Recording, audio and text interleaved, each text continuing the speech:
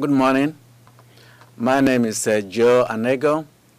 I'm with uh, Dallas Independent School District. My assignment is engineering graphics at W.W. Samuell High School. Today I have the privilege and opportunity to talk to you about the assembly of a car piston.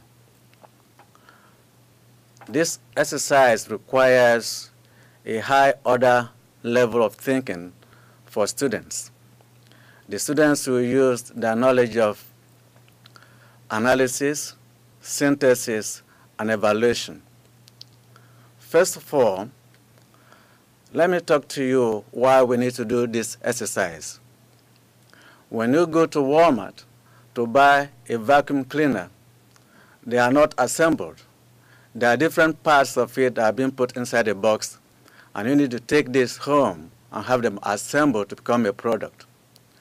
Now, this is the type of level of learning for the students to know how things are being put together to form a whole product. In this exercise, um, we are faced with how to design and assemble a car piston. Designing is, as you can see on this board over here, designing involves activities that deals with facts and how to come with solutions that you can use to design and solve that problem. That means it involves the attitude, uh, artistic of the design, how good they are, and it involves the engineering design, what, what is being required to design that product. Secondly, we need to talk about a system. In this case of our exercise, we'll be designing a car piston. The car piston comprises of so many parts, and those parts form what we call in engineering a system. A system has so many parts that are inter interrelated, and every part has its own function to form a whole unit so that the whole product can function, as we have seen in this simple example. Now, what the language of engineers is engineering graphics. We, we use that to communicate.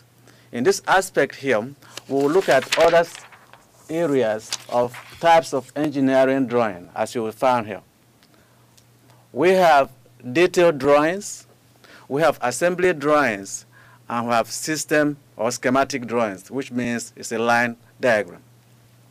Now, we will use, in our case, we will use the concept of all this here to put them together so that we can complete the whole unit. As we see, we need to go and look at what is called the TEKS, which involves the scope and sequence that is used in the, in the state of Texas. Okay. In this case here, the student will, this has, the student will design a product following this TEKS. This TEKS is being adopted in the state of Texas, so the student will apply all the concepts of engineering to specific problems. The student is expected to use a variety of tech technologies to design the component. The student designs products using appropriate design process and techniques. In this case, eh, for the student to put all these parts together, they must use a software called the AutoCAD software. The AutoCAD software is one of the best software that can be used and be applied to design these products eh. We will go to the next stage, what they're supposed to do in this exercise. These are the mechanical components to be assembled. We find here that we see one of the parts is, is the crankcase. we find the piston. we find the piston case. we find the wrist pin and the conrod. It's the requirement of the students to assemble all these parts together to form a complete system or a product. When the students knows the sequence and co how coherent they are and to put them in the right places, then we can have a product. When the students have finished, they will have a product that looks like this. Um. This the one on the left shows a complete, a complete solid product of all the parts being assembled by students. Like I said before, know, when the students buy things from Walmart, they go home like a vacuum cleaner. They go home and then put them all, all of that together because accompanied with the inside the box of that vacuum cleaner is a documentation that shows all the different parts that needs to be assembled. In this case, for the students, they have all the parts of the piston, and they put them together using AutoCAD software to form a product.